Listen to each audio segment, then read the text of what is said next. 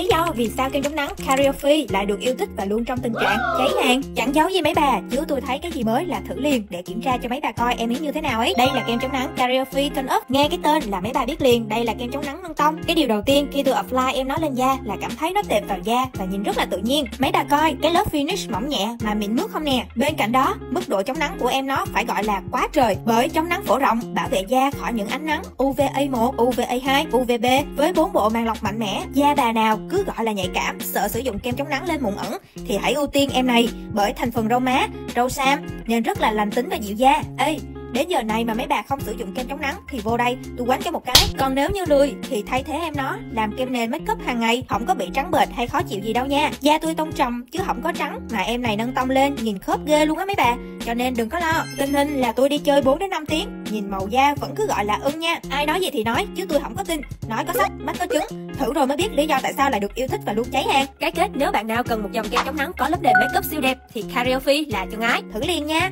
Bye